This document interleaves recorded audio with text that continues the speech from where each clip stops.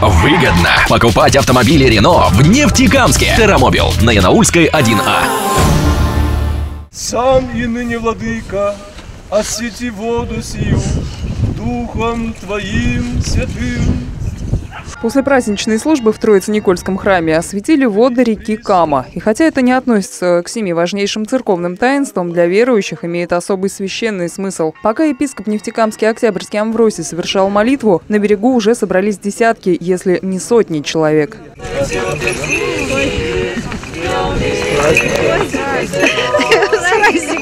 Замерзает на лету.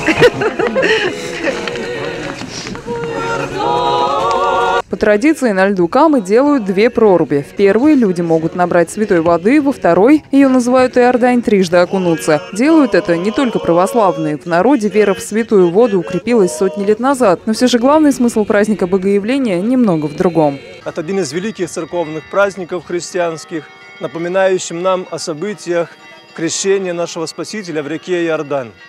Каждый год в праздник Богоявления мы вспоминаем свое личное крещение, благодарим Бога за то, что Он нас благословляет, помогает. Что хотелось сегодня сказать всем нашим верующим, чтобы они в этот славный прекрасный день и в другие дни нашли время для молитвы, для Бога.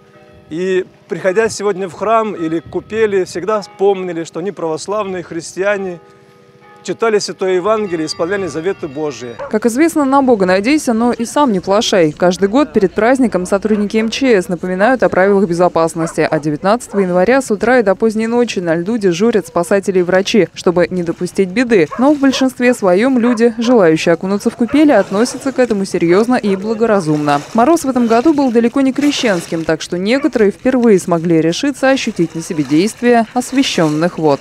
Решилась в этом году окунаться. И мне очень понравилось. Впечатления необычайные просто. Дух захватывает, а сейчас так горячо, прямо на сердце и на душе за то, что я смогла это сделать. Это получилось, и дай бог, что все было хорошо. Параллельно люди набирали воду для удобства. Уже который год подряд работают насосы, установлено приспособление наподобие крана, чтобы не приходилось склоняться к проруби. Такую воду предписано хранить бережно, как святыню. Используют ее в течение года, и каждый делает это по-своему. Разбавляем, в бане купаемся.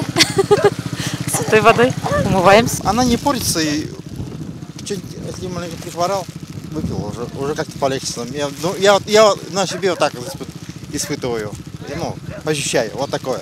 Для здоровья, для освещения дома, для всего хорошего, для блага. Есть особые моменты, но обычно для здоровья все это делается. На благо дома, на благо благополучия семьи. Людей в этот день уже к полудню было особенно много, сказалась суббота. Так же, как и в прежние годы, количество человек по разным подсчетам составило от 3 до 5 тысяч. Службы сработали, как полагается, и праздник Богоявления в очередной раз обошелся без происшествий.